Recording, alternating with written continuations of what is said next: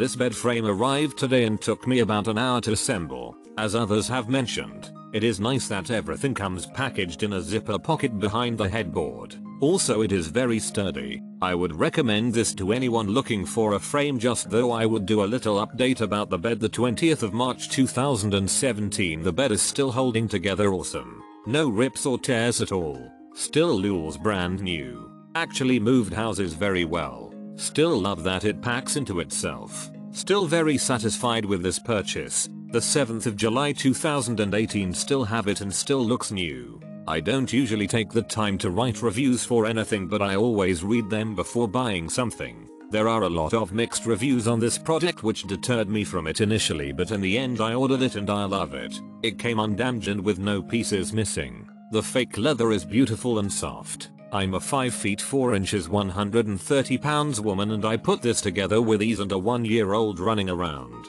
I've had it for about a month and I've been extra rough with it to see if it held up nicely, and I mean like jumping on it rough. So far so good I have yet to have a single problem. I'm sure they have duds that they ship out which can be frustrating if you get a dud. I am just here to write to the people like me who are just looking for some reassurance. I got a great bed. PS don't mind my no pants child in the picture. This was a good purchase for me. This is a really nice solid bed it took 45 minutes to put it together myself. I follow this guy's video tutorial and it made it super simple. Everything is in the headboard of the bed and it has a nice height off the ground I have a queen mattress I attached a picture to show the height from the ground.